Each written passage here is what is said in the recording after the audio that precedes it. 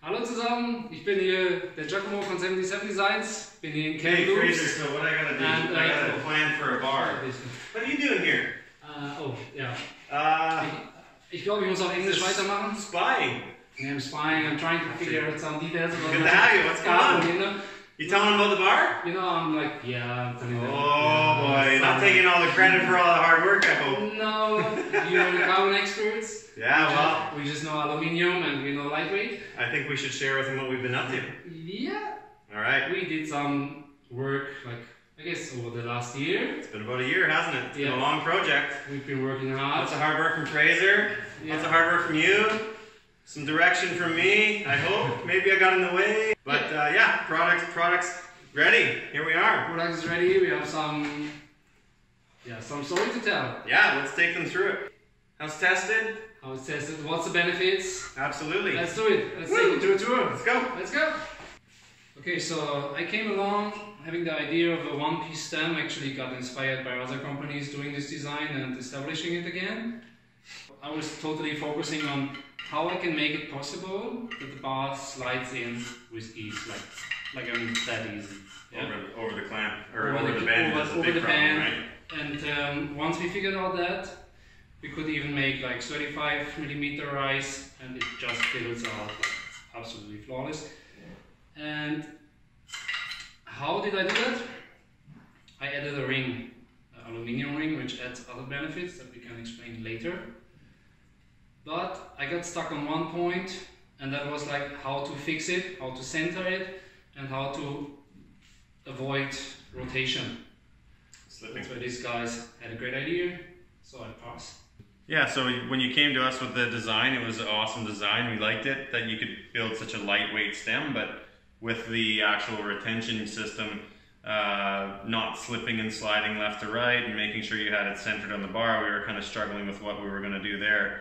Uh, and what we did is we decided to come up with this location nipple, uh, which is a, an extruded part in the carbon layout process um, that we can wrap that nipple around uh, so it kind of locks it in place, keeps it from spinning on the carbon, and also centers the clamping surface for the bar. So in the end, what's happened is you maximize the the clamping surface area of the uh, the aluminum sleeve here, but then when you clamp it down with a stem, you actually lock it in place, uh, giving you the best possible clamping situation without having to worry about crimping on the carbon at all. So it's a, it's a really cool, unique design that solves an issue of someone that's going to go monkey wrench on a, on a, uh stem bolt um, and have to worry about fatiguing the carbon around here uh, at that area. So it's, uh, it's a pretty good, uh, good way to uh, solve that problem.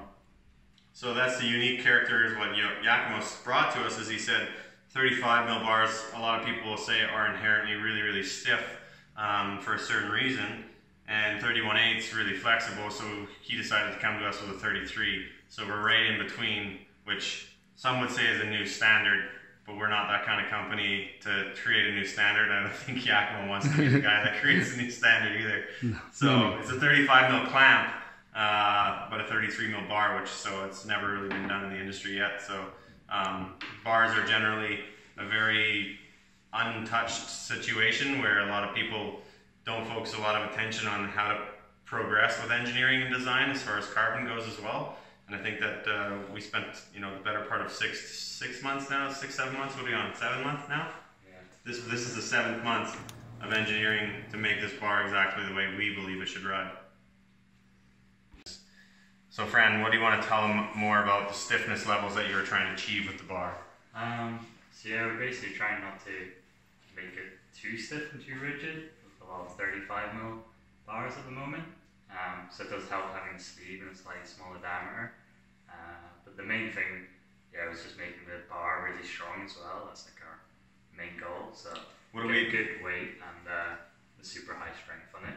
and we tested to what to achieve, like where we say this is where we know it's a, a certain strength. What did we use to get to that? I mean, not, not everybody knows that a bar has there are standards out there in the industry to meet, and these companies have set the standards, and we achieved it with which test?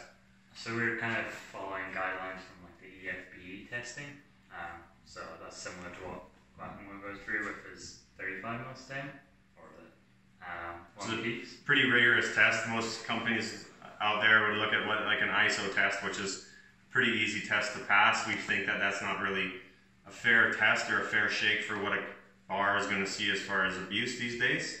Um, and EFB is a quite Yeah, A big step up. up to downhill, like covers all the low cases of a downhill race kind of. yeah. So yeah, we're confident it's a um, strong bar for pretty much every discipline and um, anything you can throw at it. So what's what's our end yield as far as when we design the bar? We know how far we can go before we start to see issues in the carbon or starts to break down and the system starts to collapse. What kind of what would a person have to put as far as uh, force goes into a bar on either side? Um, you'd be looking at probably like 10G loading. 10G. Yeah. So do you think anybody could hang on at 10G? I don't think so. Probably not.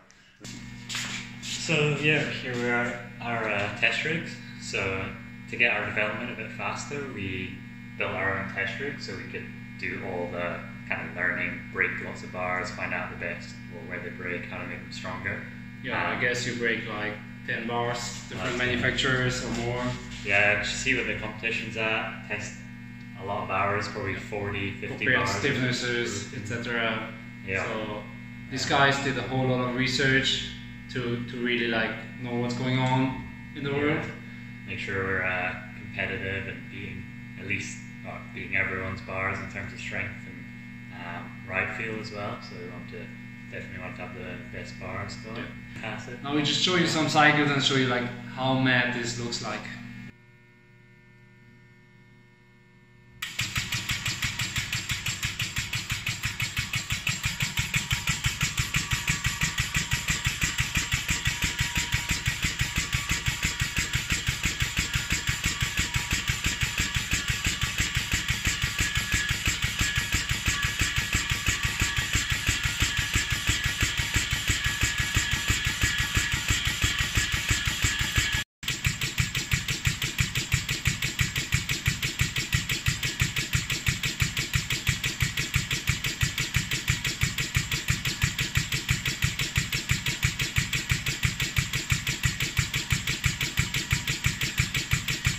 I hope you enjoyed the bar. I hope you enjoyed what we did. We worked hard on this. Seven months in the making. New stem, new bar about to drop. Super excited. Collab. Super cool collab. Guys, Cheers, buddy. It was a pleasure to work with you. Yeah. Great to be here in Kamloops. Cheers. And I'm, No. I'm also a bit excited about like making Kamloops and handmade, hand laid in Kamloops. Welcome to the family. Yeah, Welcome to are family.